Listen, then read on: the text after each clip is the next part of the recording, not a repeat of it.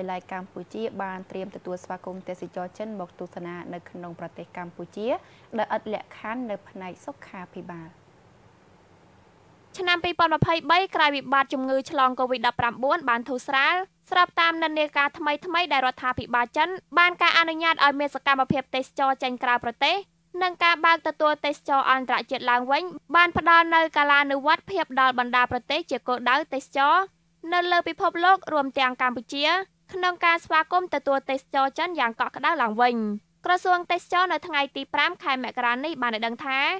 កម្ពុជារីករាយស្វាគមន៍ទេសចរចិនមកទស្សនាកម្ពុជាដោយឥតលក្ខខណ្ឌលើផ្នែកសុខាភិបាលហើយកម្ពុជាបានត្រៀមរួចជាស្រេចក្នុងការទទួលទេសចរចិនក៏ដូចជាទេសចរអន្តរជាតិទៀតផងដែរកម្ពុជាជាគោលដៅទេសចរដ៏កក់ក្ដៅបំផុតដោយសារកម្ពុជាជាប្រទេសដែលបានទទួលនៅការវិតម្លៃពីអង្គការសុខភាពពិភពលោក ជាប្រទេសឈានមុខគេក្នុងការផ្តល់វ៉ាក់សាំងជូនប្រជាពលរដ្ឋទាំងដូសមូលដ្ឋាននិងដូសជំរុញ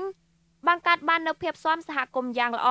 បើកសកម្មភាពសេដ្ឋកិច្ចសង្គមមុនគេក្នុងតំបន់ដែលប្រកាន់ភ្ជាប់នូវគោលការណ៍រៀនរស់ជាមួយជំងឺ Covid-19 តាមកន្លងប្រក្តីភាពថ្មីស្របពេលជាមួយគ្នាដល់ឆ្នាំ2023ក៏ជាឆ្នាំខួបអនុស្សាវរីយ៍លើកទី65នៃការបង្កើតទំនាក់ទំនងការទូតកម្ពុជាចិន និងជាឆ្នាំទស្សនាកម្ពុជាឆ្នាំ2023 ក្រោមពាក្យស្លោកគ្រប់ថ្ងៃជាអច្ឆរិយភាពដែលបានអំពាវនាវឲ្យគ្រប់ភាគីពាក់ព័ន្ធបន្តជំរុញការបង្កើតព្រឹត្តិការណ៍ទេសចរវប្បធម៌កីឡានិងសកម្មភាពផ្សព្វផ្សាយទេសចរនានាទាំងនៅកម្ពុជានិងនៅចិនរួមជាមួយនឹងការផ្តល់សេវាកម្មទេសចរឲ្យកាន់តែល្អប្រសើរនិងបដិស្ថារកិច្ចប្រកបដោយភាពកក់ក្ដៅដល់ទេសចរចិនជាមួយគ្នានេះក្រសួងទេសចរ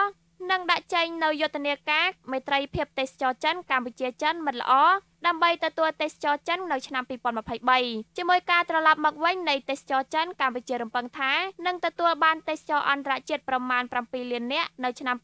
2025ដោយជាការគ្រោងទុកក្នុងផែនទីចង្អុលផ្លូវស្ដីពីផែនការស្ដារនិងលើកស្ទួយវិស័យទេសចរកម្ពុជាក្នុងនិងក្រោយជំងឺ Covid-19 សូមបញ្ជាក់ជូនថាមុនវិបត្តិជំងឺ Covid-19 ទេសចរចិនបានចេញក្រៅប្រទេសមានប្រមាណ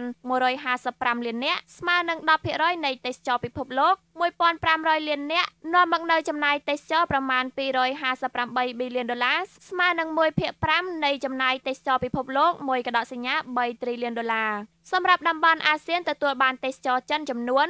23លាននាក់ស្មើនឹង22កដកសញ្ញា5%នៃទេសចរពិភពលោកដែលឡែកទេសចរចិនមកកម្ពុជានៅឆ្នាំ2018មានជាង2កដកសញ្ញា3លាននាក់ស្មើនឹង35កដកសញ្ញា7%នៃទេសចរអន្តរជាតិសរុបចំនួន6កដកសញ្ញា6លាននាក់គិតជាចំណូលស្មើប្រមាណ1800លានដុល្លារអាមេរិកលើចំណូលទេសចរប្រមាណ5ប៊ីលានដុល្លាររបស់កម្ពុជាខណៈដែលឆ្នាំ2019 2019កម្ពុជាក៏ទទួលបានវិនិយោគកិនចិនលើវិស័យពាក់ព័ន្ធនិងទេសចរប្រមាណជាង50%នៃទុនវិនិយោគបរទេសសរុបរបស់កម្ពុជា។